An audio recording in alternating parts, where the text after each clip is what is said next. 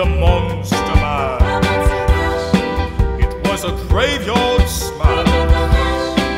He caught on in a flash.